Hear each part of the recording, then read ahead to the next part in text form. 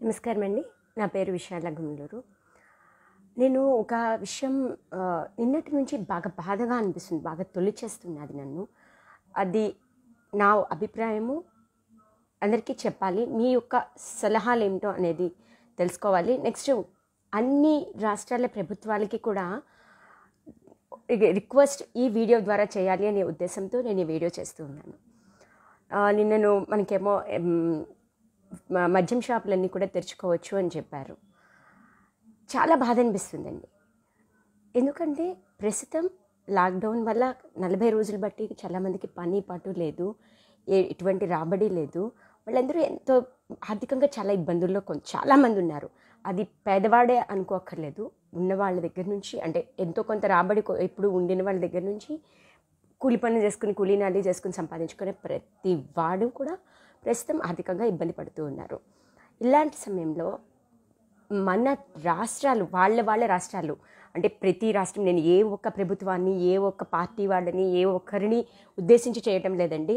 నా చుట్టూ ఉన్న సమాజంలో వాళ్ళ అందరి హితం కోసం సమాజం కోసం మాత్రమే మాట్లాడుతున్నాను. ఒకరికి వ్యతిరేకంగా మాట్లాడుతున్నాను అనుకోకండి. సమాజంలో బాధలు కష్టాలు పడేవాడికి కష్టాన్ని తెలియచేయటం కోసం మాట్లాడుతున్నాను. దయచేసి దీన్ని పొలిటికల్ కాంట్రవర్సీ చేయొద్దు. అయితే ఇప్పుడు తమ తమ రాష్ట్రాల ఖజానాలకి డబ్బులు అవసరం కాబట్టి ఆ డబ్బులు రావడం కోసం మద్యం అనేది తెరుచుకుంటే మద్యం షాపులు తెరుచుకుంటే ఆ రాబడి వస్తుంది అనే ఉద్దేశంతో మద్యం షాపుల్ని తెరిచేశారు. ఎంత అన్యాయం అండి ఇది? మేము నలభై రోజుల పాటు మీరు ఊపిరి తీసుకోకుండా కూర్చోండి అంటే కొంచెం సేపు ఊపిరి ఆపేసుకొని కూర్చున్నామండి. ప్రాణాలు మీరు మీ ప్రాణాలు పణం పెట్టండి అంటే ప్రాణాలను పణంగా పెట్టి డాక్టర్లు పోలీసులు అందరూ పనులు చేస్తూ ఉన్నారండి. నలభై రోజుల పాటు మేమందరం అన్నీ మానుకొని ప్రభుత్వం ఏం చెప్తే అది చేస్తూ వాళ్ళకి పూర్తిగా సహకరిస్తూ ఎంతో ఓపికగా ఉన్నది. ఈరోజు మీరు మీ ఖజానా కోసం ఆలోచించుకోవడానికా? ఇదెక్కడి న్యాయం? మా ఇళ్ళ ఖజానాలు మేము గుల్ల చేసేసుకున్నామండి మీ మాటలు విని ప్రస్తుతం. మా ఇళ్ళల్లో పైసలు ప్రస్తుతం ఏమాత్రం లేకుండా బికార్లం అయిపోయాం అందరం కూడా. మా రాబడులన్నీ వదిలేసుకున్నాము. మా కోసం మేము ఆలోచించుకోవడం మానేసాము. మేము ఇవాళ రాబడి లేక రేపు ఎలా బతకాలి అనేది పూర్తిగా వదిలేసాము. మన దేశం బాగుండాలి. మన దేశంలో ప్రజలందరూ బాగుండాలి.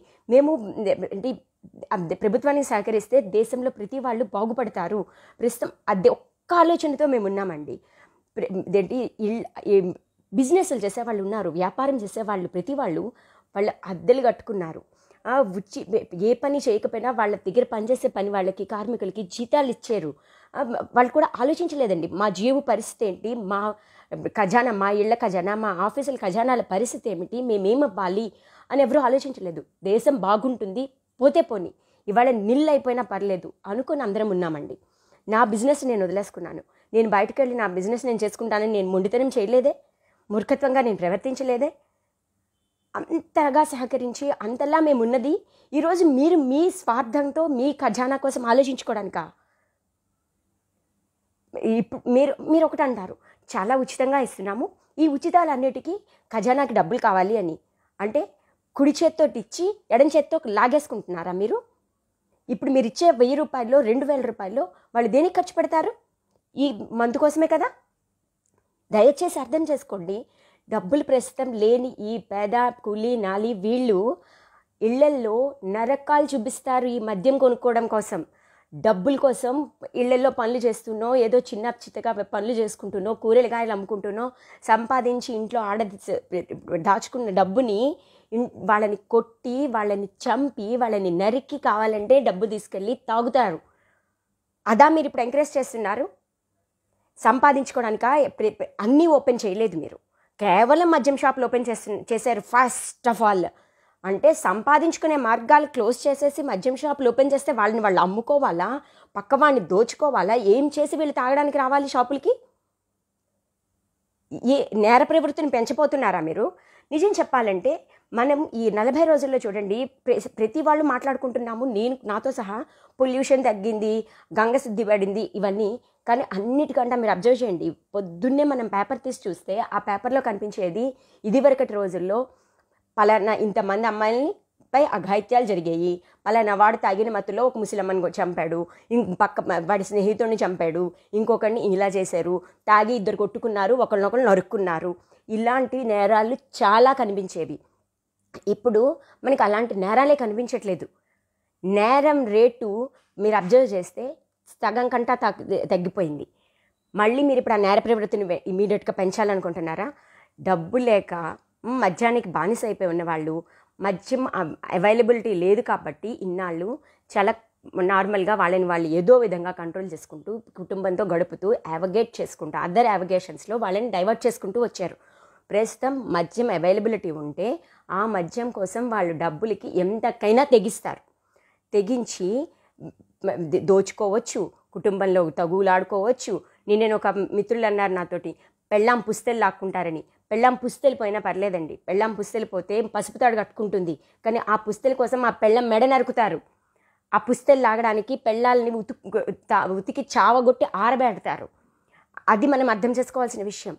ఇప్పుడు తినడానికి తిండి లేకపోయినా తాగడానికి ఏమి ఏమీ వాళ్ళకి లేకపోయినా కల్లో గంజో తాగుతూ ప్రతి కుటుంబం ఇచ్చిన ఉచితమైనవో అవో ఇవో వాడుకుని కల్లో గంజో తాగుతూ ప్రశాంతంగా ఉన్నారండి. నిజం చెప్పాలంటే చాలా ప్రశాంతంగా ఉన్నారు.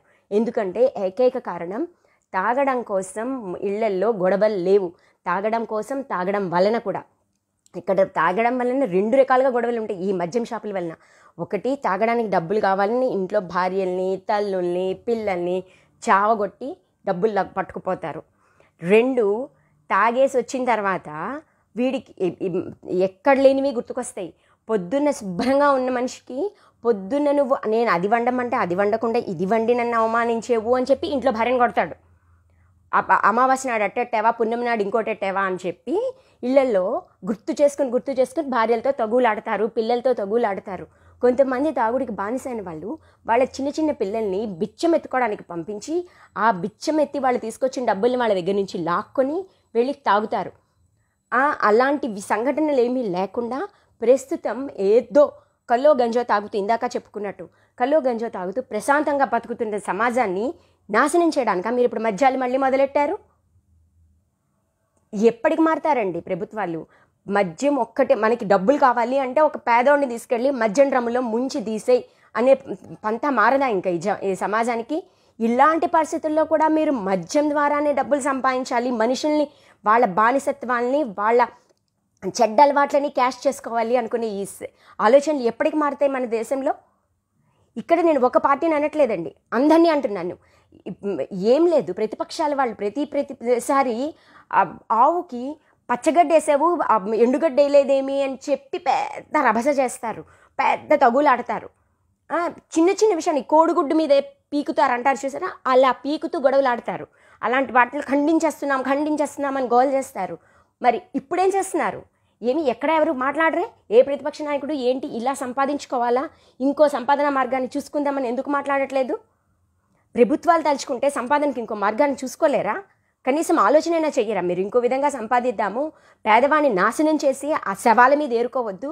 వేరేగా నా మనం సంపాదించుకుందాము అని ఎవరు ఆలోచించరా? ఇంతమంది ఇన్ని రకాల పార్టీలు ఉన్నాయి ఇన్ని రాష్ట్ర రాష్ట్రాలు ఇన్ని దేశాలు ఈ రాష్ట్రాల అధ్యక్షులు ఏం చేస్తున్నారండి? ఇదే ఆలోచన. ఎప్పుడు పేదవాడిని బాగు చేద్దామని ఆలోచించరా మీరెవరు? ఇప్పుడు సగం మంది మద్యం అందుబాటులో లేక మానుకుంటున్నారు. వాళ్ళని వాళ్ళే కౌన్సిల్ చేసుకుంటున్నారు. లేదా ఒక డాక్టర్ని కన్సల్ట్ చేస్తున్నారు. డి అడిక్షన్ అన్నీ కూడా వాళ్ళు పా- పాటిస్తున్నారు. బాగుపడుతున్నారు. తక్కువ మనం ఓపెన్ చేసి మొత్తం పాడు చేశారుగా? ఏంటండి ఇది? ఇదా మీరు చేసేది సమాజానికి? నాకు నిన్నటి నుంచి దుఃఖం వస్తున్నది అదేంటి భర్తలతో ఈ తాగుడు కోసం తాగుడు తాగిన తర్వాత తన్నులు తిన్న ప్రతి ఆడది నా కళ్ళ ముందు కదులుతున్నది ప్రతి పిల్ల నా కళ్ళ ముందు కదులుతున్నది. ఈ తాగిన మత్ మత్తులో వాళ్ళు చేసే నేరాలు అఘాయిత్యాలు ఆడపిల్లల మీద కానీ ముసలివాళ్ళ మీద కానీ వావి వరస మరిచిపోయి ఆ ఒళ్ళు తెలియని స్థితిలో వాళ్ళు చేసే ప్రతి నేరం గుర్తుకొస్తున్నది. మళ్ళీ అదంతా ఇప్పుడు మళ్ళీ చూడాలా మనం? ఈ కరోనా మహమ్మారి సమయంలో మనం ఆ నేరాలు మిస్ అయిపోతున్నామని బాధపడుతున్నారా? అసలు నెక్స్ట్ వాళ్ళేమో సోషల్ డిస్టెన్స్ కూడా పాటిస్తారట. తాగిన వాళ్ళు సోషల్ డిస్టెన్స్ పాటించడం ఏంటండి? రెడ్ జోన్లలో కూడా మీరేమో అని మద్యాన్ని ఓపెన్ చేసేసారు. తాగిన వాడు సోషల్ డిస్టెన్స్ పాటిస్తాడని మీకెవరు చెప్పారు అసలు? తాగిన వాడి గురించి మనం ఫస్ట్ చెప్పుకునేదే ఒళ్ళుపై తెలియకుండా వాడు ఏదో చేస్తున్నాడు వాడిని వదిలే అనుకుంటాం మనం. తాగిన వాడు ఏదైనా మాట్లాడితే ఏ తాగి మాట్లాడుతున్నాడు వాడికి ఒళ్ళుపై తెలియదు అంటారు. తాగిన వాడు ఏదైనా గొడవాడినా కానీ ఒళ్ళుపై తెలియదు తాగిన వాడు అంటారు. అటువంటి తాగిన వాడు సోషల్ డిస్టెన్స్ మెయింటైన్ చేస్తూ జాగ్రత్తగా ఉంటాడు అని మనం ఎక్స్పెక్ట్ చేస్తున్నాం. రెడ్ జోన్లలో కూడా. వాడు ఏం ముట్టుకుంటాడో వాడు ఎక్కడ తాగి పడిపోతాడో వాడిని తాగి పడిపోయినప్పుడు వాడిని ఎంత- ఎవరు మోసుకెళ్ళాలో ఎవరండి ఇవన్నీ కంట్రోల్ చేయగలిగిన వాళ్ళు? ప్రస్తుతం పోలీసులకు తక్కువ పని ఉన్నారా? ఇంకా ఇవన్నీ కంట్రోల్ చేస్తూ ఉండడానికి? ఎందుకు చేస్తున్నారో తెలీదు. మీ ఖజానాలు నింపుకోవాలి అనుకుంటే ఈ మద్యం ఏంటండి? డ్రగ్స్ కూడా అలౌ చేసేసండి. డ్రగ్స్ వల్ల ఇంకా ఎక్కువ డబ్బు వస్తుందేమో. ఇంకా బాగా సంపాదించుకోవచ్చు ఖజానాలకి. డ్రగ్స్ మాత్రం ఏం పాపం పాపం చేస్తాయి? కొంచెం త్వరగా మనుషుల్ని చంపేస్తాయి. అంతేనా? చచ్చిపోతారు పీడ విరగడైపోతుంది. మీకు ప్ర మీకు ప్రజలు బాగుకుండా డబ్బులు రావడం ముఖ్యం కదా? ఆ డబ్బులు వచ్చేస్తాయి మనకి. మేము మా మొత్తం సంపాదనలు వదులుకొని చేతులు నిల్ డబ్బులతోటి జీరో బ్యాలెన్స్లతోటి ఇలా కూర్చుని ఉంటే మీరు డబ్బులు సంపాదించడం కోసం ప్రజల తాలూకా బానిసత్వాన్ని వాళ్ళ తాలూకా ఈ మద్యం తాలూకా ఉన్న ఆ ఎడిక్షన్ని వాడుకుని సంపాదిస్తారా? అది ఉచిత పథకాల కోసమా? ఉచితంగా మేము ఇస్తున్నాం కాబట్టి మీరు చేయండి అని. ఉచితంగా ఇచ్చిన దానికంట వాళ్ళని బతకనివ్వడం మేలండి. ఉచితంగా ఇవ్వకండి. సంపాదించుకునే మార్గం చూపించండి. కానీ ఇలా మద్యం కోసం ఆ ఉచితంగా ఇచ్చిన డబ్బులు మాత్రం మళ్ళీ లాక్కోకండి. ఇది చాలా అన్యాయం. వెళ్ళి అడగండి. ప్రతి స్త్రీ ఇప్పుడు అమ్మ మద్యం షాపులు మళ్ళీ తెరిచేశారా అని గుండెలు బాదుకుని ఏడుస్తున్నారు. భయపడుతున్నారు. రేపు మళ్ళీ నా మొగుడు మొదలెడతాడు. రేపు మళ్ళీ నాకు మా నాన్న నన్ను వెళ్ళి అడుక్కు తీసుకొచ్చి డబ్బులు ఇమ్మంటాడు. రేపు నా కొడుకు నన్ను కొట్టడానికి వస్తాడు డబ్బులు ఇవ్వమని. నా దగ్గర లేవు. ఏం చేయాలి అని ప్రతి స్త్రీ ఈరోజు ఏడుస్తున్నదండి. కొంతమంది ఉండొచ్చు. వాళ్ళు వెళ్ళాఫు వాళ్ళకి డబ్బులు పెట్టుకోగలరు వాళ్ళు మద్యం తాగుతారు. ప్రస్తుతం మన కర్మ మన సమాజం ఎలా ఉందంటే మద్యం అలవాటైన వాళ్ళు స్త్రీ పురుషుల దగ్గర నుంచి చాలామంది ఉన్నారు. కాబట్టి వాళ్ళకి మద్యం ప్ర- షాపులు ప్రస్తుతం తెరవడం వల్ల ప్రాబ్లం అనిపించదు. మద్యం షాపులు తెరిచారు అంటే సంతోషపడతారు. కానీ ఏ ఒక్కడు ఈ మద్యం వల్ల జరుగుతున్న నేరాల గురించి ఆలోచించరు. ఈ మద్యం వల్ల జరుగుతున్న కష్టపడుతున్న భార్యల గురించి ఆలోచించరు. మనకి మన తాలూకా అలవాటు పూర్తిగా చక్కగా మనం తృప్తిగా అది చెడ్డ అలవాటు అవని మంచి అలవాటు అవని మన అలవాటుని మనం తీర్చుకోగలిగితే మనకి సంతోషం. అది కూడా తినడానికి తిండి లేకపోయినా పర్లేదు. మద్యం ఉంటే చాలు. మనం మద్యం పార్టీ రేపు ఉదయం చక్కగా ఫ్రెండ్స్తో వెళ్ళి రేపు ఉదయమో రేపు సాయంత్రమో చక్కగా ఫ్రెండ్స్తో వెళ్ళి మద్యం పార్టీ చేసుకొస్తే మస్త్ ఖుషి తృప్తి. మనకు అదే కావాలి. అంతకు మించి మనకేం అక్కర్లే. ఎందుకండి? లాక్డౌన్ తీసేసేయండి. లాక్డౌన్ తీసేసి మీరు మద్యం షాపులు మొత్తం తెరిచేయండి. లాక్డౌన్ తీసేస్తే మేము సంపాదించుకుంటాం. లాక్డౌన్ తీసేస్తే మేము సంపాదించుకుంటాం. మీ ఖజానా నింపడానికి డబ్బులు వస్తాయి మేము శుభ్రంగా బార్లు కట్టే బార్ల దగ్గర ఇలాగ క్యూలు కట్టేసి పడి పడి మద్యాలు కొనేసుకొని మీ ఖజానాన్ని నింపేస్తాం. మీకు కావాల్సింది అదే కదా. ఖజానా నిండడం ముఖ్యం. ఏమైతే అయింది? లాక్డౌన్ తీసేసి కరోనా పెరిగితే మనకేంటి? ఏమైతే ఏంటి? తాగినవాడు బాగుపడతాడా? కరోనా వచ్చినవాడు బాగుపడాలి అని ఆలోచించడానికి మనం దేశం సమ దేశం కోసం ప్రజల కోసం ఆలోచించే నాయకులైతే లాక్డౌన్లు పెట్టి ప్రజల్ని సేఫ్గా ఉంచాలి అనుకోవాలి. మనం అది ఆలోచించట్లేదు కదా. ఖజానా ఒక్కటే మనకు ఆలోచన. కాబట్టి తీసేయండి. లాక్డౌన్ వద్దు గిక్డౌన్ వద్దు మేము రేపటి నుంచి మీ లాక్డౌన్ పాటించాం.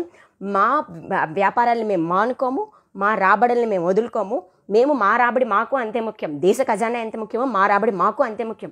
మేము తినాలి అంటే మీ దేశంలో మీరు ఫ్రీగా పంచాలి అంటే మీకు నచ్చిన వాళ్ళకి మీరు ఫ్రీగా పంచాలి అంటే ఖజానాకు డబ్బులు ఎంత అవసరమో మేము కనీసం మా తిండి మేము తిని మేము సుఖంగా బతకాలి అంటే మా డబ్బులు మాకు అంతే అవసరం. నెక్స్ట్ చెప్పాలి అంటే ఇక్కడ మాలాంటి అప్పర్ మిడిల్ క్లాస్ అనో ఏదో మధ్య తరగతి ఏవో మధ్య తరగతి అంటున్న మీరు పెట్టే పేర్లు ఉంటాయి చూసారా? వాళ్ళు బతుకుతున్న నికృష్ట బతికి ఎవరికి తెలియదు వాళ్ళకి ఎవడు ఫ్రీగా ఏమి ఇవ్వడు. వాళ్ళకి కనీసం ఒక పాల ప్యాకెట్ కూడా ఎవడు ఇప్పటికి వచ్చి ఇచ్చినవాడు లేడు. పొద్దున్నే కాఫీ తాగమ్మా అని. ఒక ఒక కేజీ బియ్యం ఎవడు ఇచ్చినవాడు లేడు. ఒక కూర ఆవిడిచ్చిన ఇచ్చినవాడు లేడు. వాళ్ళు సంపాదించుకుని వాళ్ళు దాచుకున్న దాన్ని ఖర్చు పెట్టుకుంటూ ప్రస్తుతం బతుకుతున్నారు. వాళ్ళ బిజినెస్ లేకపోయినా వాళ్ళ రాబడులు లేకపోయినా. ఎందుకలా బతుకుతున్నారు? దేశం కోసం. దేశంలో మన నాయకులు మనకు ఒక రూల్ పెట్టారు. మనం దేశంలో అందరూ బాగుండాలి కాబట్టి మనం ఇలా ఉండాలి అనుకొని బతుకుతున్నారు. వాళ్ళు అంత త్యాగం చేసింది ఈరోజు మీరు ఇలా చేయటానికా? ఇలా ఆలోచించడానికా నే నాలాంటిది ఎవరితో ఒక ఒక ఆమె బాబు మేము కూడా రాబడులు లేక మేము కూడా ఇబ్బందులు పడుతున్నాము. మా గురించి ఆలోచించండి అని చెప్పేసి అని పోస్ట్ పెడితే ఎక్కడైనా ఒక మెసేజ్ పెడితే ఓ ట్రోల్ చేసేస్తారు మీరందరూ. తెగ పది సార్లు ట్రోల్ చేస్తారు. ఏంటి? నీకు డబ్బులు లేవంటాము నువ్వు ఆ కారు కొన్నావు నువ్వు అది కారు కొన్నాను కానీ ఎవరి దగ్గర నుంచి ఎత్తుకురాలేదుగా ఆ కారుకి డబ్బులు కట్టుకోవాలిగా మేము? ఆ డబ్బులు కట్ట కట్టకపోతే ఆవిడ ఊరుకోడు తీసుకెళ్ళి పెడతాడు అక్కడ మా కారు తీసుకుపోతాడు. అవన్నీ ట్రోల్ చేస్తారు. ఇలాంటి కష్ట సమయంలో కూడా నువ్వు నీ రాబడి కోసం ఆలోచిస్తున్నావా? షేమ్ ఆన్ యూ చీచి అలాంటి దానివి ఇలాంటి దానివని నా అలాంటి వాళ్ళని నువ్వు నాన్న మాట్లాడతారు అందుకని మూసుకొని చచ్చినట్టు భరిస్తూ వస్తున్నామని నేను డబ్బులు లేకపోయినా లేవు అని మాట మాట్లాడడానికి భయపడుతూ బతు బతుకుతున్నాము. కానీ ఇప్పుడు ఈ ప్రజల తాలూకా సంక్షేమాన్ని ఆలోచించాల్సిన ప్రభుత్వాలే డబ్బులు లేవు. ఈ లాక్డౌన్ వల్ల మేము నష్టపోతున్నాము అని చెప్తుంటే నాబోటి వాళ్ళు ఎందుకు మాట్లాడకూడదు? ఎందుకు మా మా నష్టాల గురించి మేము చెప్పకూడదు? మమ్మల్ని అప్పుడు మేము చెప్తే మమ్మల్ని ఎందుకు ట్రోల్ చేస్తారు మీరు? ప్రభుత్వాలను అయితే మాట్లాడరా ఎవరును అది ప్రభుత్వాలను అయితే మాట్లాడడం కాదు. Shame on you people. Shame real literally shame on you people. మీ అలవాట్ల కోసం మీలో చాలామందికి ఉండే ఈ తాగుడు అలవాట్ల కోసం పేదవాడింట్లో చావులకైనా కానీ మీరు మాట్లాడరు. అక్కడ భార్యల్ని చంపి డబ్బులు తెచ్చి తాగుతాడు పేదవాడని తెలిసి కూడా మీకు కూడా అదే అలవాటు ఉన్నది మీరు తాగుతారు కాబట్టి ఇప్పుడు ఈ తాగుడిని వద్దు అని చెప్తే మీరు నష్టపోతారు. మీ అలవాటుని మీరు తీర్చుకోలేరు కాబట్టి వాడి చావుని కూడా మీరు ఎంకరేజ్ చేస్తారా? Really literally shame on you. మనుషుల్లో చైతన్యం కావాలండి. చైతన్యం అంటే చెడుని చెడని చెప్పగలగాలి మంచిని మంచి అని చెప్పగలగాలి చెడు జరిగినప్పుడు ఖండించాలి. అది చేయలేని పరిస్థితుల్లో మీరు అందరూ ఎందుకున్నారో నాకు అర్థం కావట్లేదు. ఒకటి చావుని మీరు ఎంకరేజ్ చేస్తున్నారు. దేశంలో నేరాలను ఎంకరేజ్ చేస్తున్నారు. రేపటి నుంచి జరిగే ప్రతి రేపుకి ప్రతి మర్డర్కి ప్రతి దానికి ఈ దీన్ని ఖండించకుండా నోరు మూసుకుని అబ్బా మద్యం షాపులు తెచ్చారని సంతోషించే ప్రతి వాడు బాధ్యుడే అవుతాడు. ఇది ఆలోచించుకోండి. నమస్కారం. జై హింద్.